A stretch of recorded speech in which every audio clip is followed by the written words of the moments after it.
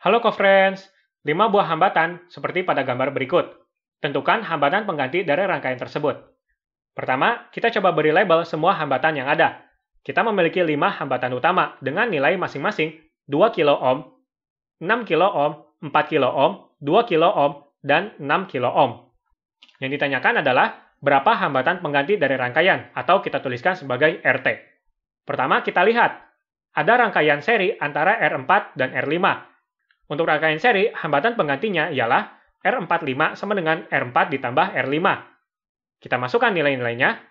R45 sama dengan 2 ditambah 6, sama dengan 8 kilo ohm. Selanjutnya, ada rangkaian paralel antara R45, R2, dan R3. Hambatan pengganti untuk rangkaian paralel ialah 1 per RP sama dengan 1 per R45 ditambah 1 per R2 ditambah 1 per R3.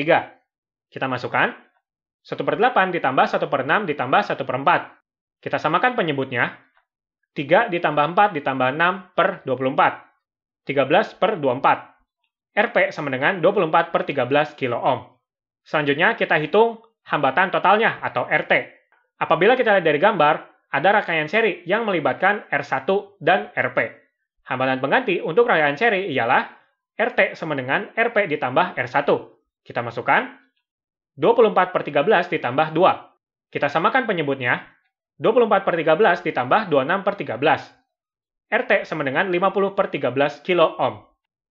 Begitu saja, sampai jumpa di soal selanjutnya.